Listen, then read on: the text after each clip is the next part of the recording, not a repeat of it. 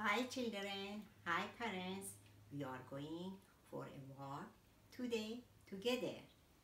Slowly walking. One, two, three, four, five. Let's do it a little bit faster. Six, seven, eight, nine, ten. Next, put your hands on your shoulder and go up and down. One, two, three, four, five, six, seven, eight, nine, ten. Yes, you did it. Next is high knee. One, two, three, four, five, six, seven, eight, nine, ten. Yes, we did it together.